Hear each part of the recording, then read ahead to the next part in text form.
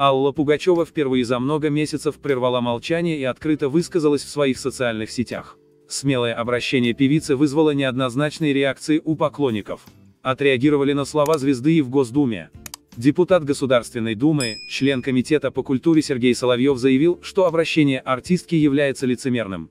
По его мнению, Пугачева попросту строит из себя жертву и выглядит при этом смешно.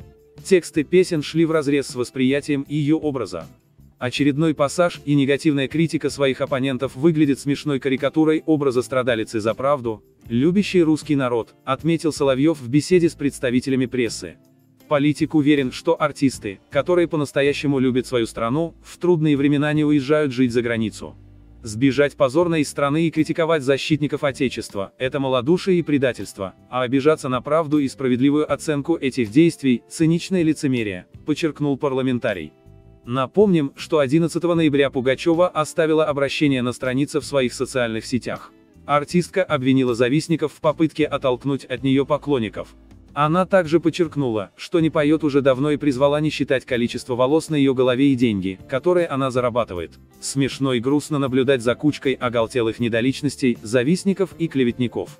Вы такие забавные. Кстати, именно вас я назвала рабами и холопами, народ-то в данном случае ни при чем, он заложник нынешней ситуации. Я люблю его и жалею, написала Пугачева. Пост Примадонны мгновенно разлетелся на цитаты и стал обсуждаемым. Некоторые интернет-пользователи уличили артистку в переобувании. Ого, заднюю начала включать, то все были рабы и холопы и пела для них зря, а теперь уже не все россияне, а только кучка завистников, похоже, начала переобуваться, написал один из комментаторов.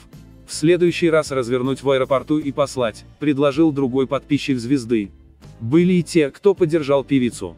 Сто процентов право, мы с тобой, написала интернет-пользовательница.